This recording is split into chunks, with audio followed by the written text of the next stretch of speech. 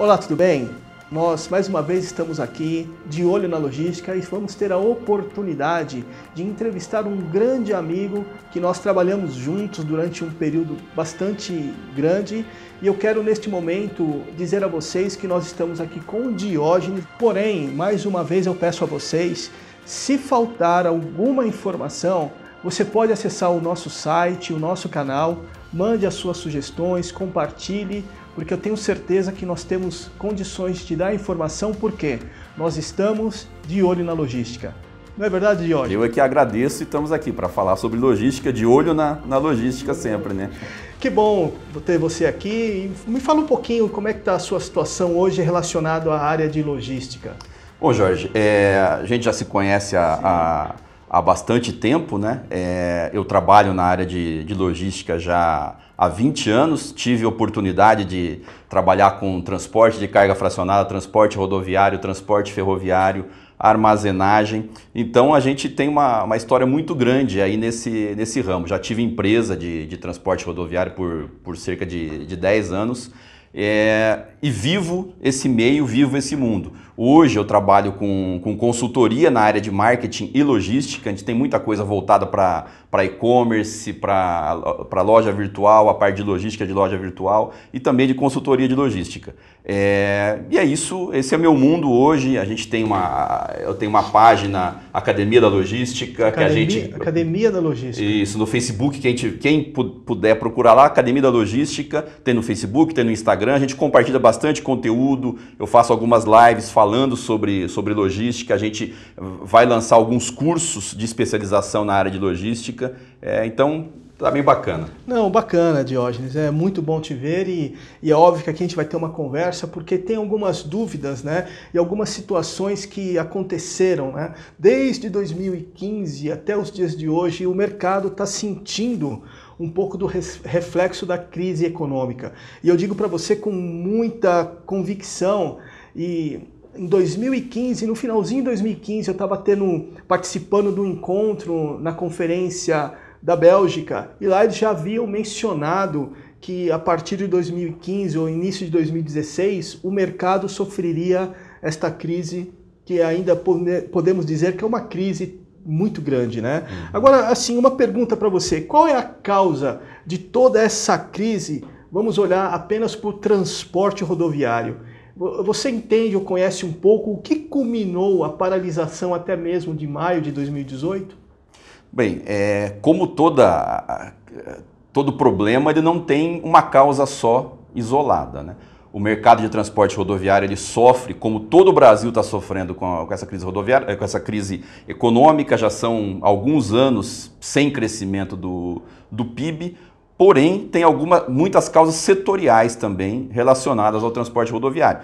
E o que aconteceu agora, em maio de 2018, que afetou todo mundo, afetou o Brasil inteiro, na verdade não, é de agora. Isso é uma situação que aos poucos é, foram acontecendo é, alguns é, intervenção governamental desde 2009. A gente pode colocar que foram oito anos e meio, nove anos de ações equivocadas, intervenções equivocadas por parte do governo, é, que faz o que não deve fazer e deixa de fazer o que deve fazer. A gente tem muito problema de infraestrutura, acaba que o nosso transporte, é, é a nossa logística fica muito dependente do transporte rodoviário, e isso não é normal. Então nossas empresas não aguentam esse custo e o transportador rodoviário não é remunerado da maneira que é por diversos motivos. Acho que é, é na, na, própria conferência a gente vai ter oportunidade de discutir bem melhor isso, Sim. aprofundar mais quais são as causas econômicas, quais são as causas de é, tamanho de frota, a legislação trabalhista, é, a legislação da logística em si, que acabam engessando e aquilo virou uma, virou uma panela de pressão que explodiu Sim. em maio de 2018 e não acabou ainda. Não acabou é, ainda. Não acabou ainda. Nossa, é... a, gente, a gente percebe que no mercado existe uma, vamos dizer assim, uma, uma competição desleal, né? Eu observei algumas empresas na Europa nos períodos que eu estava viajando e até mesmo eu conheço empresas que são concorrentes, porém diante de situações como esta, uma ajudou a outra. Isso, vamos dizer assim, infelizmente não acontece no Brasil, né? Agora, qual é a situação atual? Você acha que que algumas situações foram melhoradas ou ainda continua é, no mesmo patamar? Qual, é a sua opinião a respeito disso, Diógenes? Em geral, de maio, junho desse ano, nos últimos três, quatro meses, houve uma pequena melhora para o transportador rodoviário autônomo. Tá, mas, mas agora, isso não vai perdurar. Agora, essa pequena melhora é relacionada a quê? Eu acho que mais ao, ao medo que as empresas ficaram de que aquilo, aquilo se repita.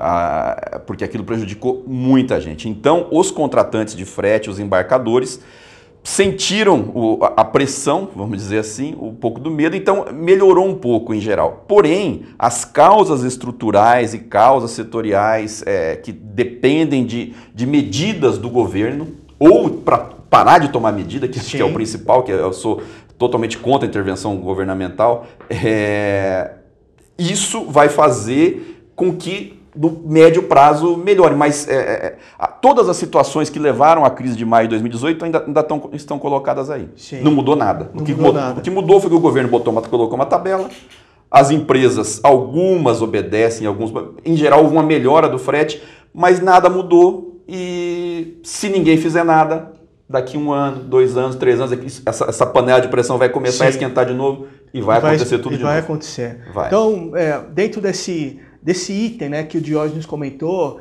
e ele tem certeza que vai ter condições de nos dar mais informação, eu convido você a participar da conferência, porque é, você, Diógenes, esse, esse, esse ponto que você colocou, que pode isso acontecer de novo, é, eu tenho certeza que está deixando, é, nesse momento, as pessoas preocupadas. Então, para nós seria muito importante você abrir, né, vamos dizer assim, jogar a toalha, né, no sentido de trazer todo o esclarecimento e tirar também as dúvidas dos profissionais que vão estar participando da conferência. Uhum. Agora, assim, para a gente poder encerrar, porque né, a gente sempre tem perguntas, se a gente uhum. ficar aqui vai ficar o dia inteiro, né? Uhum. É, o que deve ser feito, né, quando a gente olha diante de tantas situações que você falou, o que deve ser feito a médio e longo prazo, assim, nos dê uma pincelada o que deve ser feito para que a gente possa é, virar essa situação e voltar a ter um conforto no sentido operacional da área de logística e supply chain? É, assim, eu acho que são duas coisas, é, é, aquilo que eu falei antes ali, que o governo faz o que não deveria fazer e deixa de fazer o que deveria fazer. Então, em primeiro lugar, tem que desregulamentar muita coisa na área de, de logística porque a, a regulamentação ingessa as empresas, deixa elas sem ter campo de ação, de ter criatividade, de inventar coisas novas, então tem que desregulamentar muita coisa. Por outro lado, o que o governo deveria fazer, que é pensar a nossa logística, planejar, fazer um, é, parcerias público-privadas, com, fazer concessão de ferrovias, de hidrovias, de rodovias, mas planejar isso antes para fazer as concessões, ele não está fazendo. Assim, é, é eu posso até detalhar isso Sim. mais na conferência, mas assim, um ótimo plano que eu conheço de logística, ótimo. O último que foi feito pelo governo foi em 98, se não no, me engano. 98. 98. Era um excelente plano de logística e não foi feito nada em cima dele. E eh, em cima dele você poderia construir parcerias entre o governo e empresas Sim. privadas, concessões. É, a gente tem muito gargalo, nossos portos têm gargalo, chegar nos portos é, é, é um gargalo. É, a gente não utiliza hidrovia, a gente não utiliza ferrovia como deveria utilizar. E o governo não, o governo não tem que construir ferrovia, o governo tem que conceder ferrovias e desenhar como deve ser a malha ferroviária. Deve desenhar como tem que ser a malha rodoviária e conceder isso para empresas privadas. É, isso eu acho que tem que fazer, mas isso vai demorar não, não anos, décadas. Tem que começar correto no dia 2 de janeiro de 2019 para daqui a 20, 30 anos ter efeito. Entendi. Não, Diógenes, eu agradeço muito, uma conversa muito bacana, mas eu vou fazer um desafio para você. Ok. Você não precisa responder agora, mas vai ser apenas um desafio. Uhum. Eu vou colocar a semente e você vai ter que nos trazer o fruto no dia da conferência. Uhum. Eu, eu tenho é, falado com armadores, eu tenho falado também com os administradores dos portos, né? E nós temos aqui na região sul o Porto Paranaguá, Itajaí, Navegantes, o 3P, né? Que vai logo uhum. funcionar, é, iniciar o, as operações. Eu entendo, na minha opinião, eu entendo que os portos deveriam oferecer toda a gama de serviço relacionado à logística. Ou seja, ele recebeu o container faz as operações dentro do porto, Porém, para transportar, ao invés de usar uma empresa terceirizada, eu acredito que os portos, no momento que não vai demorar muito, eles vão ter a própria transportadora. E isso também eu enxergo que o armador vai fazer isso. Ou seja, o armador vai entrar nessa briga, né, nessa concorrência, vai trazer o container, o porto vai fazer as movimentações, tudo que for necessário, mas o armador ele vai vender todo o serviço e vai acrescentar nos fretes internacionais. Eu não quero, eu não, você não precisa responder nem dar a sua opinião agora. Okay. mas eu gostaria muito que você, dentro é, da, da sua da conferência né, que você vai apresentar, do tema, uhum. eu gostaria que você trouxesse isso é, para que a gente possa interagir numa discussão bastante interessante. Tudo bem? Tudo bem. Eu tenho uma opinião um pouquinho divergente da sua, ser Sim. legal de discutir. Não, então, mas legal. As coisas acontecem assim, né? Sim. Com opiniões diferentes, uhum. um aprende com o outro, e eu tenho certeza que nós vamos aprender muito com você. Tá bom? Tá bom. Ótimo. Eu, nesse momento, agradeço a todos vocês que estão assistindo essa entrevista e também estão vendo as outras entrevistas e depoimentos que já foram gravados. E eu espero que essas informações tenham sido muito importantes para você. Vocês querem ouvir o restante disso? Participem da conferência Olho na Logística, porque o mais importante de tudo é que esta conferência ela tem um cunho benéfico, ou seja, vamos receber as doações que vocês estiverem trazendo e essas doações vão ser entregues para as casas assistenciais. Então não se esqueça disso, porque isso é muito importante. Acessem o nosso canal, deixem aí os seus comentários, compartilhem, porque eu tenho certeza que nós estamos de olho na logística. Não é verdade, Diógenes? Isso aí, Jorge. Obrigado. É, agradeço a todos aí pela oportunidade de estar batendo esse papo, que é muito Sim. bom sempre a gente conversar sobre logística, que é a nossa, a nossa vida, né? É ótimo. Então, muito obrigado.